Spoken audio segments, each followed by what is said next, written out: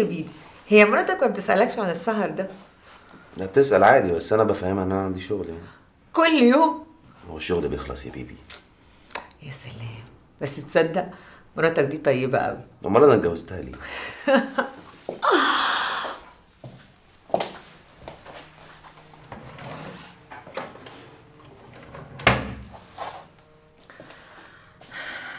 خد دي.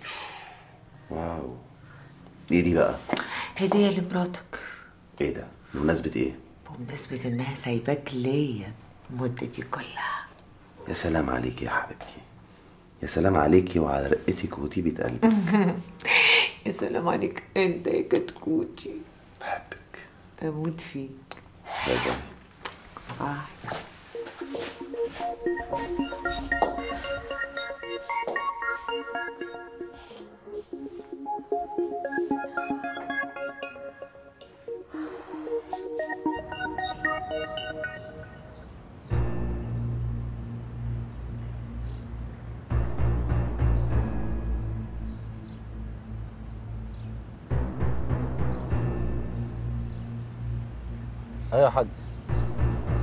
شايفه دلوقتي تحت بيت واقف لا لسه قاعد في عربيته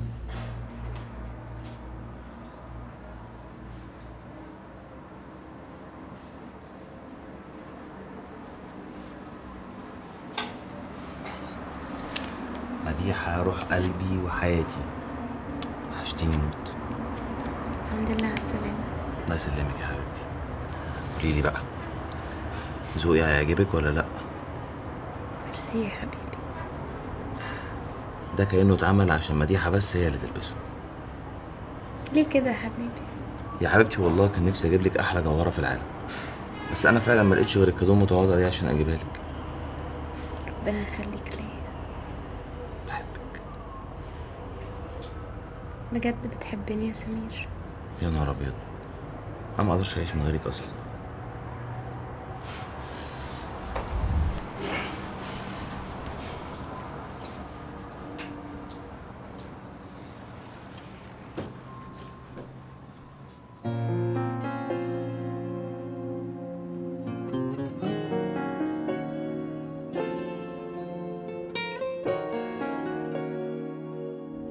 عشرة راجل كان كل ما ينزل من البيت يعرفوا الواحدة ومع كل واحدة جديدة كدب جديد ودلع بقى ولطف. خدي عندك. دلوقتي يا رحمة هانم لازم نسمع الأوامر. منين رحمة هانم ومنين عايزني أسمع الأوامر؟ أوامر الدكتور يا حبيبتي. أنت ما سمعتيوش قال إيه؟ قال مفيش حركة كتير. يا حبيبي أنا كويسة. وبعدين أنا بحب الشغل وما أقدرش أقعد من غير شغل. لا لا لا لا لا لا, لا. أرجوك الشغل ده مش هتعتبيه تاني إلا لما ربنا يقومك بالسلامة إن شاء الله. حبيبي أنت خايف عليا قوي كده ليه؟ أنا بخاف. يعني محسسني إنه أول مرة يجيلك بيبي. هو أنت فاكرة نفسك زي نسوان زمان؟ ما شفتيش البت مديحة حصل لها إيه؟ يا حبيبتي صعبان عليا قوي. قلبي وجعني عليها. أنا عارف بس أنا مش هفوتها له. لكن أتأكد الأول. وهي إيه اللي يعوضها ربنا عنده كتير. ونعم بالله.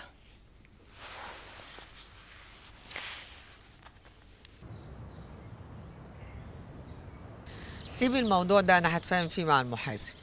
250 مليون جنيه اللي عايزيننا ندفعهم. ليه؟ هو إحنا بنكسب كام؟ هما بيزودوا علينا كل سنة الضرايب. يزودوا زي ما عايزين يزودوا المهم في الآخر بترسي على كام؟ وسمير بيه عقده جاهز بقاله أسبوع ولسه ما جابش الفلوس على فكرة. معلش أصله كان مشغول مع ولاد الطيب بس هيجيب الفلوس قريب. ودول هنشغلهم في إيه؟ هنوزعهم ما بين شركات الصرافة والبورصة. تفتكري إنه جد؟ طبعا. معانا لازم يكون جد. ليه؟ وأنت فاكراني بنت الطيب؟ إنما إيه رأيك فيه؟ كتكوت شركسي بس حلو. لكن الواحد لازم يخلي باله منه. إنه ممكن ينقره. ليه؟ هو من النوع اللي بينقر؟ مش كل الستات اللي ممكن يتنقروا. أكيد هو عارف مين منى فتح الباب. ولا يعني مش عارف. أكيد عارف طبعا.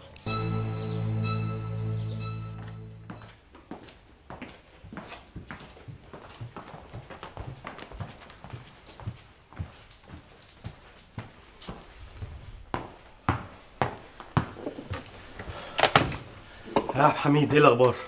والله لا جه ولا فتح تليفونه. يعني هيكون راح فين ده؟ والله ما عنديش فكرة بس يعني لو حضرتك تقول لي في إيه أنا تحت أمرك.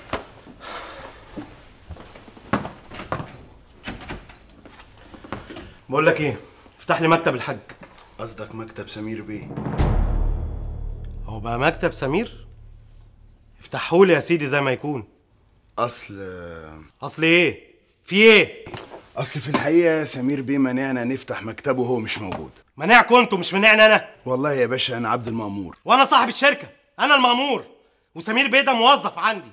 ومراته اللي هي أختي ليها حصة وأقل من حصتي. اللي بتعمله ده غلط يا عبد الحميد والله يا بيه أنا ماليش دخل. أنا عبد المأمور ما تزعلش مني. لا ده أنا أزعل وأزعل وأزعل. لما موظف عندي يمنعني من دخول مكتب موظف تاني يبقى أنا ماليش لازمة. زي ما أنت كمان مالكش لازمة. يا ثابت بيه سمير بيه العضو المنتدب. ما تلومنيش إن أنا بنفذ أوامره. لا بقى أنا مش هلوم.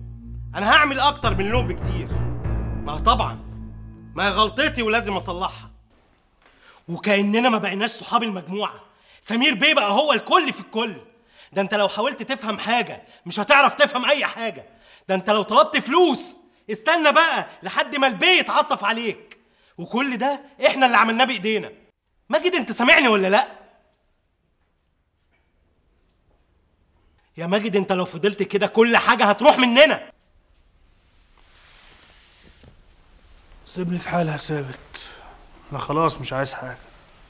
إذا كان على حقي ونصيبي في المجموعة خده يا عم بس سيبني في حالي بقى. أرجوك سيبني في حالي.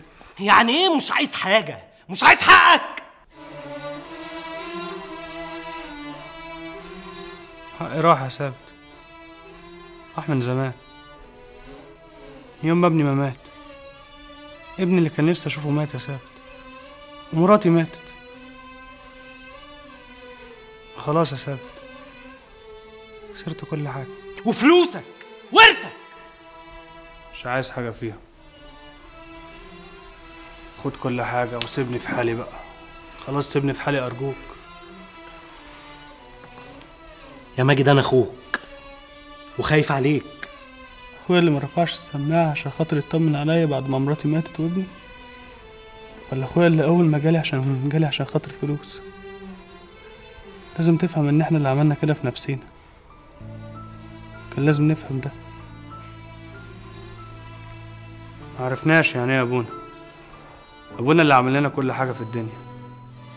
وإحنا خدنا كل حاجة منه غصب عنه. دينا شربنا من نفس الكاس يا معلم.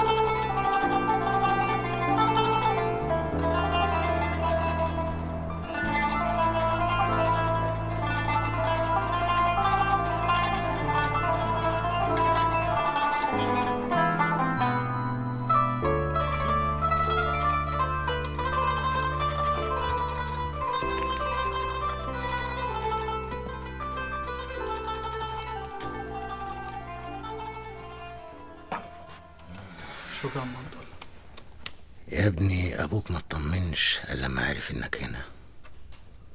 يبقى غلطان في إيه بقى؟ عشان تتعب قلبه كده. صدقني يا ابني مجيتك هنا ومجاورتك لستنا الطاهرة هتخلي ربنا سبحانه وتعالى يشيل عنك الهم والحزن. إذا كنت زعلان عشان مراتك ماتت تبقى راجل أصيل وإذا كنت زعلان عشان الجنين اللي كان في بطنها. ربنا يا ابني يعوضك عوض الصابرين. باجي خلاص بقيت يا عم عبد الله. هي عند ربنا دلوقتي. ربنا يرحمها إن شاء الله. إن شاء الله. لكن أنا عشت طول عمري مش فاهم حاجة. ما سبتش غير حاجة شر عملتها. وهو ربنا خسرني كل حاجة. عشان أبقى في الدنيا دي لوحدي. هتعذب بس. ربنا مش هيغفر لي يا عم عبد الله؟ ما تقولش كده يا ابني. ما تقولش كده. ربنا سبحانه وتعالى رحمته وسعت كل شيء. حتى بعد كل اللي أنا عملته. ومليون مرة أكتر من اللي أنت عملته. ربنا سبحانه وتعالى اسمه الغفور. ربنا سبحانه وتعالى اسمه الرحيم. أنا نفسي ربنا يغفر لي. ولا اعمل إيه اعمل حاجة عشان ربنا يغفر لي. أنا مش عايز أبقى زي زمان يا عم عبد الله. أنا هو اللي أموت أحسن. والله العظيم أموت أحسن. بسم الله الرحمن الرحيم. قل يا عبادي الذين أسرفوا على أنفسهم لا تقنطوا من رحمة الله. إن الله يغفر الذنوب جميعا. صدق الله العظيم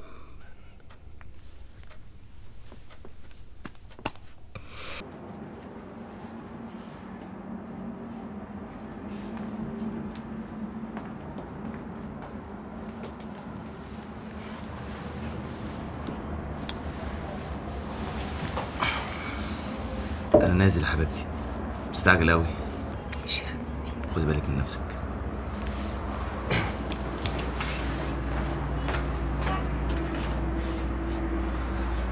كنت هنسى إيه؟ حبيبتي كان لازم أمضيك على عقد الشركة الجديده أنا جبت لك نسخة امبارح بس فعلا نسيت أمضيك عليها. طب ما أنت معاك توكيل. أنا مش هينفع أمضي مكانك. أنا التوكيل ده بس بستخدمه عشان ما تعبكيش.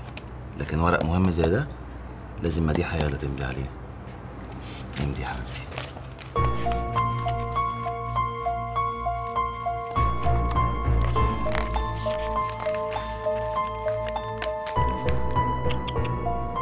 اقري الأول واعرفي العقد فيه إيه وبعد كده امضي.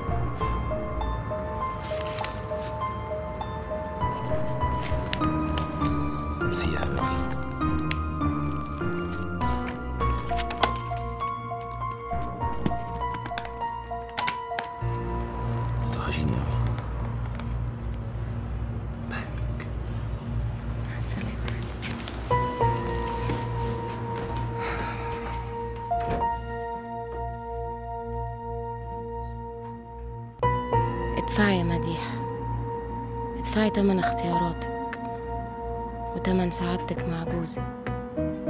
من هنا ورايح هتفضلي تدفعي.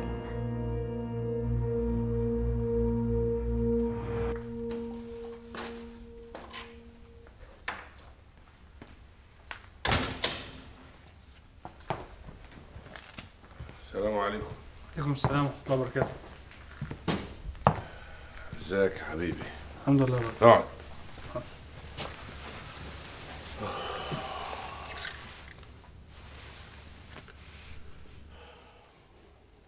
عامل إيه يا ماجد؟ الحمد لله. مش كفاية بقى؟ كفاية يا بابا؟ كفاية حزن يا ابني. الحزن بيجيب حزن والهم بيجيب هم. أنا مش زعلان من اللي حصل لي يا بابا. دي أقل حاجة. أنا زعلان من روحي. أنا زعلان مني قوي يا بابا. طب دي حاجة كويسة. الراجل اللي بيلوم نفسه يبقى بيطهرها. مش عارف. هطهر منها إيه ولا إيه؟ كله بيتطهر يا حبيبي. المهم قلبك يكون صافي. وحضرتك مش زعلان مني؟ لا مش زعلان منك. زعلان من رميتك دي. وقوم بقى عشان ما ازعلش منك أكتر. يعني بعد كل اللي أنا عملته في حضرتك. حضرتك مش زعلان مني يا بابا؟ الأب مهما زعل من ابنه مسيره هيصفى. بعدين في معظم الأحيان بيعمل إنه زعلان. وأنا ابني مات يا بابا ابني مات من غير ما أشوفه ولا حد عامل عليه اللي أنا زعلان بس ده ذنبك أنت. كل اللي أنا عملته في حضرتك ربنا ردهولي في ابني. يا عبيط. ده قدر ومكتوب. يعني انت كان متهيألك إن ربنا بينتقم منك فهيموت الروح الصغيرة دي؟ لا يا حبيبي. ربنا أرحم بالعبد من أي حد.